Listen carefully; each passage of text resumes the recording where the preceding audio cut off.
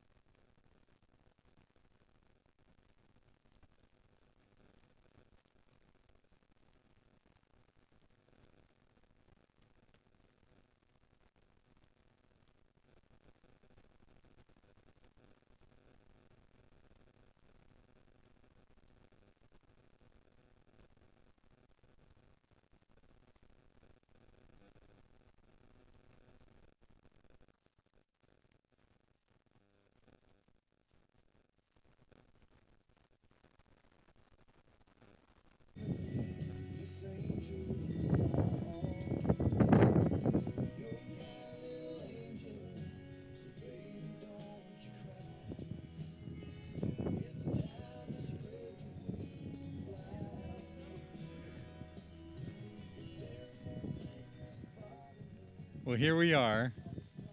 Everything that has uh, has tried to make this not a momentous occasion. The whole world went on lockdown, trying to wreck this day. You can tell the value of a person by the strength of their enemies sometimes. Apparently, the bad guys are trying to keep you two away. But not today. Everything's in place. You ready? Are you ready? I will formally ask who gives this bride to be married to my son? Her mother and I. You may receive your bride.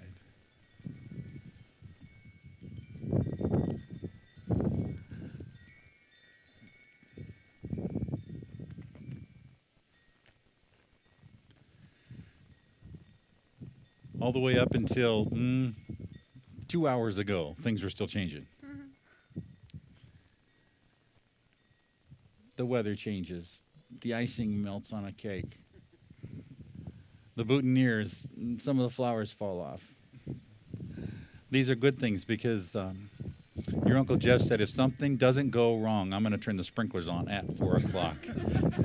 so, so we're good. We're good. We're good. Family and friends friends who are like family. Welcome to the thousands of people watching online. As this thing, I used to, I was going to try to call this viral. Let's go viral, but you don't want viral right now. Join us and uh, and let's pray. Heavenly Father, here we are, standing with these two who say that they want to stand together with you. I pray you bless this union in the name of the Father and Son and Holy Spirit. Amen. Amen. God created man in his own image. Part of that image includes the ability to use free will. Part of that includes the ability to use true love. No other creation can use that. No other creation is aware of true love or that they have free will or that they can use or misuse those things.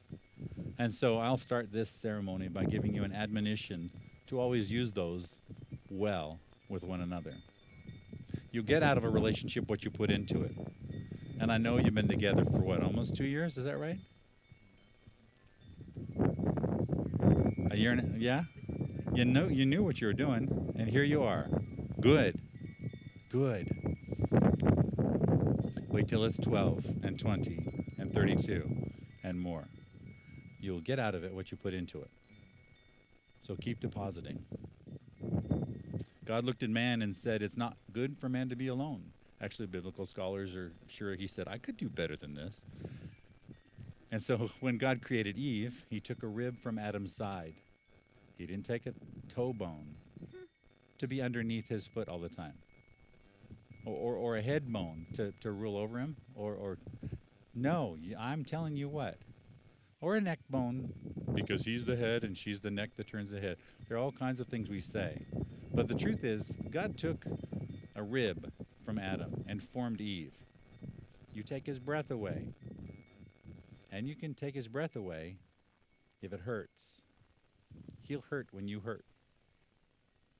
But you fill him, you inspire him when things are done well. You fill him with breath. And you're right there under his arm, but next to him. I'd like you to gently put your arm over her shoulder. You can put your arm around his waist.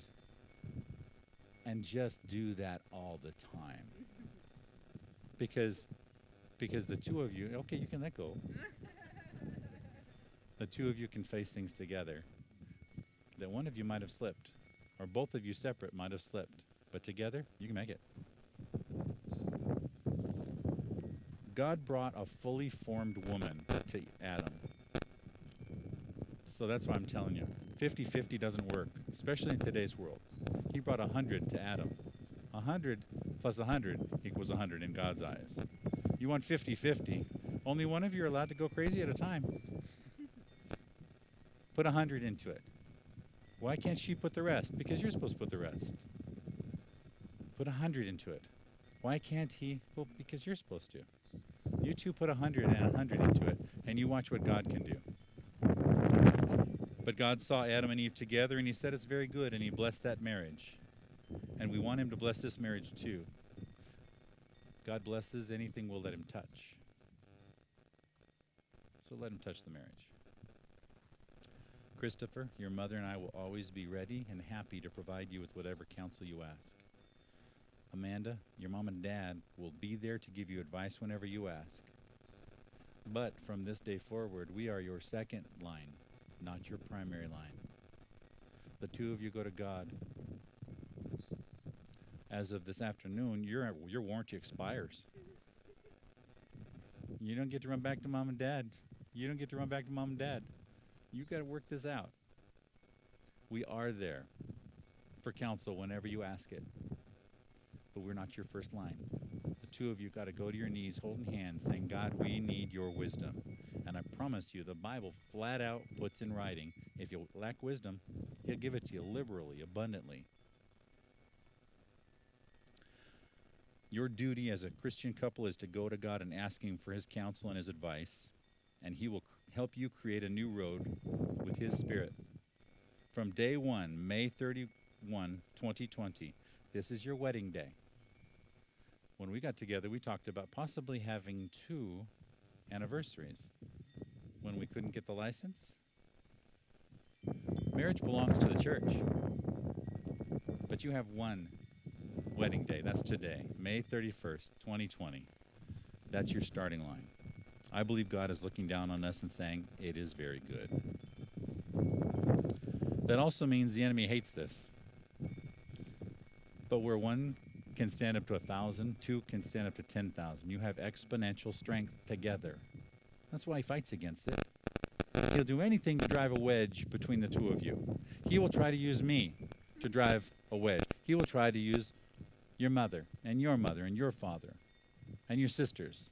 He'll do anything he can possibly do to try to drive a wedge between this because he hates healthy marriage. You can outlast him. You can outdo him. You have greater authority. He's a really good talker, and he roars from time to time. But the devil has no teeth left. And he can barely stand up because he's been defeated. Every time you guys look and see, oh, there's a wedge. We're arguing about some stupid again. You realize, oh, the stupid enemy is trying to drive us away again because he hates what we got going. So, if there are any persons here today that have aught to say against this wedding, we're really not interested. Christopher. Alyssa found her husband Andrew online. Where did you first see this woman? Online? What is it with you kids? He, he saw your picture and he was so interested. He says, Oh, I got to meet her. this is a true story. And so the village of their friend circle put together this, this thing. And, uh, and I think it was at Macy's house, right? Um, okay. So Christopher came to Amanda and tried talking her up, and he made just barely enough impression where, where she was impressed enough, or maybe she felt sorry for him enough. I don't know. But it was enough to make her want to at least go out with you. so, congratulations, your plan worked. And uh, they went on a double date to Little Italy. They had lunch, they walked around, they had a nice enough time, but they didn't do much for the next few weeks. Why didn't you call her? Say, let's do something now. We'll never know, but your plan worked. We're here today. So, sometime between New Year's and Christmas, uh, 2018, 2019, she asked him, What are you doing for New Year's Eve? And he didn't have any plans. I don't know. Yeah, that's when he called because we had that big thing going. He said, I just can't come. I can't explain it right now.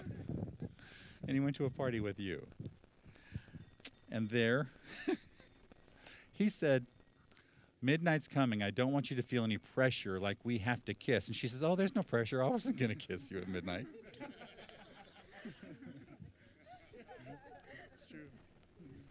A week later, they had a real date. They went to Scripps Aquarium. They went to Little Italy again.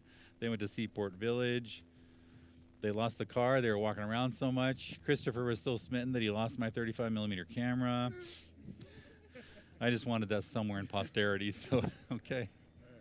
I'm like, and he called to apologize, and they went back, and, and I said, This girl must be special. He says, Oh, Dad, she is. I'm like, How many dates? He says, Well, this is our real first real one. you had him. You had this poor guy. After their first date, he asked, um, Well, uh, you want to be boyfriend, girlfriend? She says, No, it's got to be at least three dates minimum.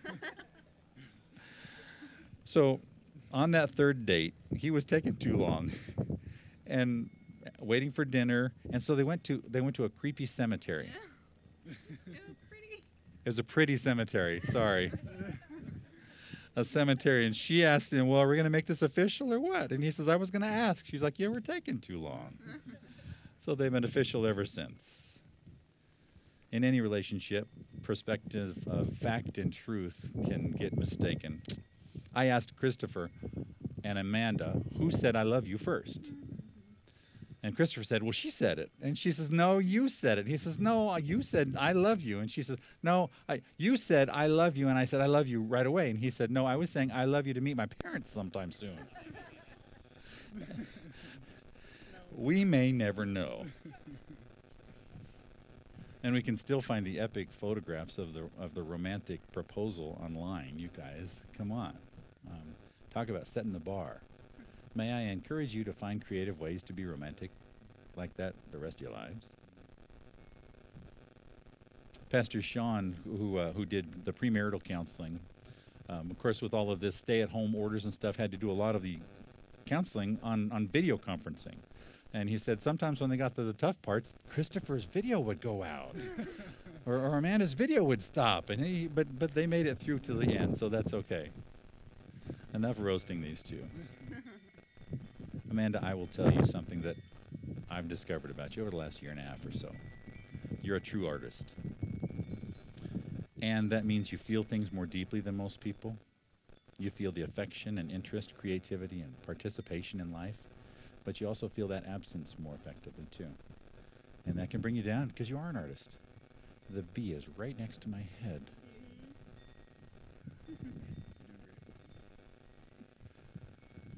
I've known some artists, and I've known some artists that were just like flower petals, but you're made of sturdy stuff. I'm very proud of you. Your parents are very proud of you, but you're made of sturdy stuff. You don't wilt every time you don't get your way, and you watch and see more than most people do. You actually look and watch better than most people. I knew another woman named Mary, the mother of Jesus. She was like that. She watched. She kept things in her heart. She saw things. People would talk about it. People would say, "Oh, that's wonderful." She would hold things in her heart and just kind of just kind of say, "You know, there's something to that." That's like you. And she was a she was strong in her faith. She just trusted God. Okay, God, whatever you want to do. How do you want to do it? I encourage you to be like that. Be like that. Christopher, God put those things in her for you. What a package deal. What a what a package deal. There's no way you could have known all that was inside of her when you first got together. But here you are. You opened the box and you found that there was more inside than, than could ever fit there. I bless the Lord for his loving kindness and favor of bringing her into your life. A father always wants his children to find someone worthy. I believe you have. It's the highest compliment I can pay you. Christopher, you're, you're a poet. You are, not because you rhyme words well, but you're, you're, you're a romantic in life. You show love in more ways and, and more often than most people, which means that sometimes they don't show it back as much as you do in life. But you never run out. Isn't that funny? As you keep putting out, God keeps refilling you somehow. Do that. Do that. You also have a sense of justice that that brings tears to mind. You have a sense of justice. You know when somebody's doing right and when somebody's doing wrong. You try to muscle through, but it still gets you. Never stop feeling that. It's okay to sense something is wrong and you want to make it right. Okay, that's part of who you are. It's part of who she fell in love with. You're also disciplined. I suppose your your athletic training helps some of that. But I believe that just added to a spiritual gift that God gave inside of you to have some type of discipline. You will finish something if it burns. You'll still finish. I knew a man who was kind of like that. I read about him. His name's Peter. He would just jump out there and do what he thought was right, even when it was wrong sometimes. But when it came time, he spoke to thousands of people and was not timid about saying, This is right, and what's been going on is wrong. Let's do right. And God put all that inside of him. There's no way you could have known before you, you came to this day that all of that was inside of him. But God gave you a package deal. You open the box, and there's no way all that could fit. and your parents love you, and there's no way any man in the world could ever be the right, perfect guy that deserves you.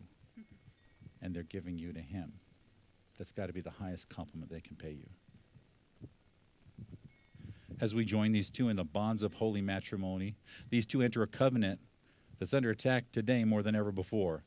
Those who are here, family, friends, loved ones, those, those that are watching online, if you're watching this after the fact and it's a recording, hey, it's May 31st, they're getting married. Amanda's circle, those who are part of Christopher's circle. I charge you today, will you promise to encourage and support these two in marriage and in times of trouble? Will you commit to point them back to each other and together back to God in every situation? Everyone attending, listening, and watching this ceremony, will you give them your most solemn promise never to allow or be part of anything that would tear these two apart? If so, promise saying, We will. Christopher and Amanda, from this day forward, You may not give up easily, but press through. When you're mad, you don't get to go home to your separate homes. When something didn't go right, you go home together and you fix it. Press through because there's a peace found on the other side of adversity some people never discover. If this is your promise to one another, say it is. Then, with the blessing of the Lord and the commitment of your friends and family, and with your commitment, let's celebrate this new pledge of allegiance. The Bible says a woman must submit to her husband, and then it says a husband better give her somebody worth submitting to. You're side by side. It commands husbands to love and honor and favor and be faithful to their wife. And it same passage says wives do the same thing with your husbands. So Amanda, will you commit to love and honor Christopher for the rest of your lives? And will you value and cherish him and be a helpmeet to him? On the lookout for dangers that he might miss? And will you promise to grow in your faith together and live your life together in Christ, growing along with Christopher in the truth and strength of the Lord Jesus Christ? If so, answer, I will. Christopher, will you commit to love and honor Amanda for the rest of your lives? Will you value and cherish her, protect her from harm, and will you follow God's command to love her as Christ loves the church? And will you grow in your faith and be the spiritual head of the household, growing with Amanda in the truth and strength of the Lord Jesus Christ? If so, answer, I will. Christopher as her covering and life partner, it's your responsibility to pray with Amanda for yourself and for her. Are you willing to do that? And are you prepared to begin begin that today? Say, I will. Amanda, as his helpmeet and life partner, it's your responsibility to pray with Christopher and for yourself and for him. Are you willing to do that? And are you prepared to begin that today? Say, I will. Why don't you face each other? You hold both hands.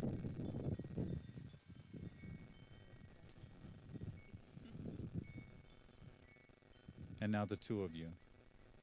You look at me. You look at her a lot. Look at me now. Do you two promise to keep those vows and spend the rest of your life being the faithful, godly husband and wife and live with one another with love and tenderness and forsake all others and only be faithful to one another? If so, say, I do.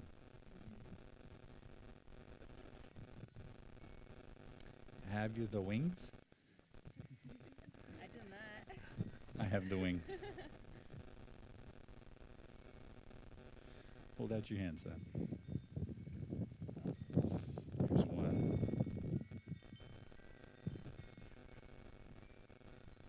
Hold out your other hand. There's that.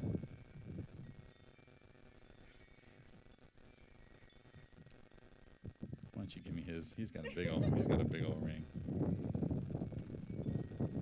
Christopher, why don't you place this on her left hand and repeat after me? I, Christopher, take you, Amanda, to be my wife, to have and to hold, in sickness and in health, through thick and thin. I promise to love you for the rest of our lives. I will continue to grow in faith with you as we grow closer to Christ together. I love you.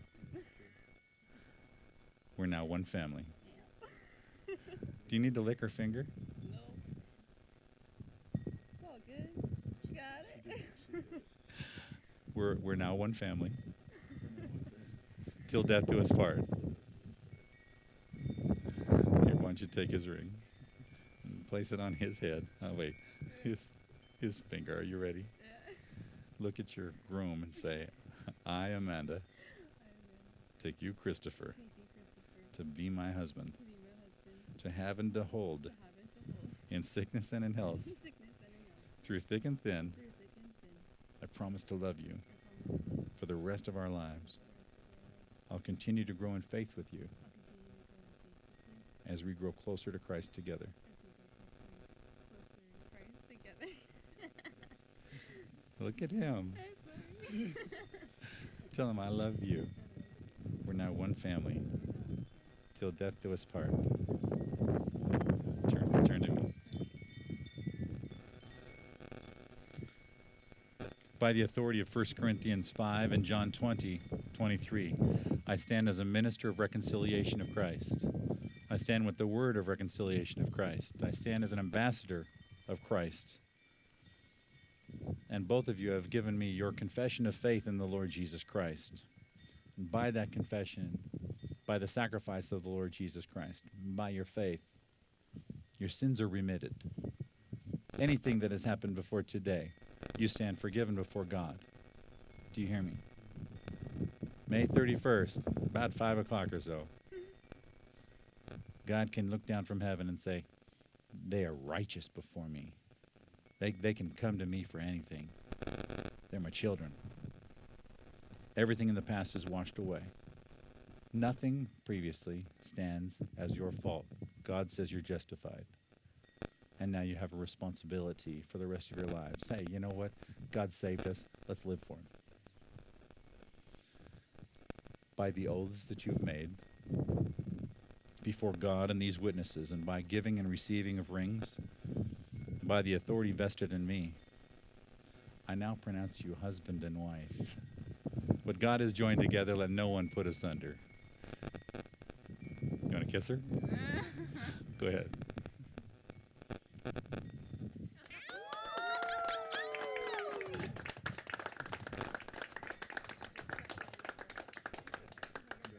yeah, I'm good.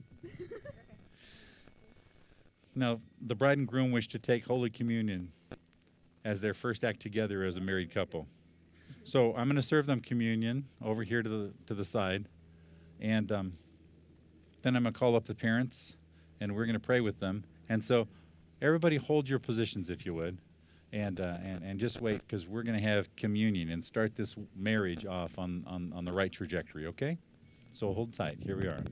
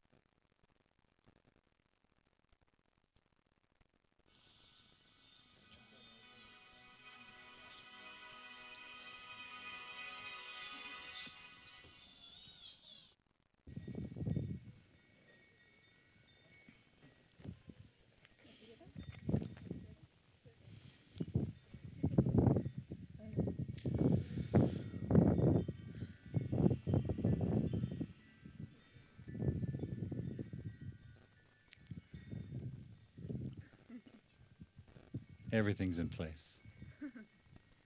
Everything's been done that can be done to set you on the right trajectory. It's up to you to hit the gas, go forward. I have the privilege of closing in prayer. And I'm pray a prayer blessing on you. And then we'll uh, we'll break to our next things we're going to be doing. So receive this blessing. Father in heaven, I pray over these two right now. I pray a prayer of blessing, God. You ordained so many things before you ever lit the sun. God, you were knitting them in their mother's wombs and had a plan for them already. And now today as we take another step forward, I pray as they as they look to you, Lord, and as they keep your word first in their lives, they'll cause their own way to prosper but that you would bless them going in. You would bless them coming out. You would bless them when they're in the country, in the fields. Well, you would bless them at their jobs. Lord, you'd bless them when they're talking to people. You'd bless them in the city. You'd bless them when things look scary and everybody else is wondering why in the world are they here, but they would take care of business. That they would glow in the dark, Lord, that they would be a light in a dark world and they would water places that are drier and empty. I pray for fruitfulness, Lord, and when they choose to grow a family, Lord, that their family would grow. You would bless them at the right time in the right way, Lord, and that they would be confident that your hand of blessing is upon them every step. I proclaim the name of Jesus, plead the blood of Jesus over their household. Peace in the name of the Lord. And in the name of Father and Son and Holy Spirit, I bless the two of you. Amen. Amen. Y'all are married. Y'all are married. Turn around. Can I introduce you, please, to Christopher and Amanda Moore?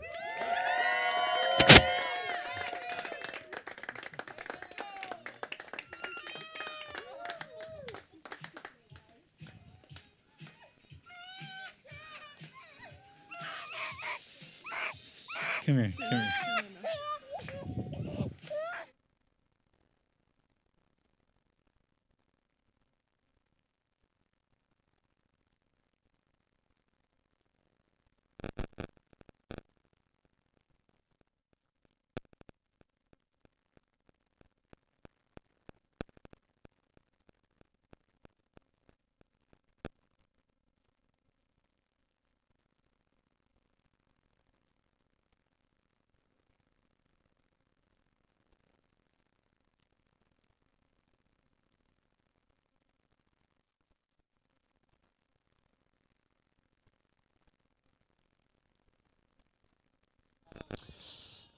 Hey guys, thanks so much for watching and staying tuned with uh, Chris and Amanda's wedding. Now, Chris and Amanda Moore. We're so excited for them and we wish them the best. Thank you guys so much for being a part of their special day and we wish you guys the best. Have a great evening. Thanks.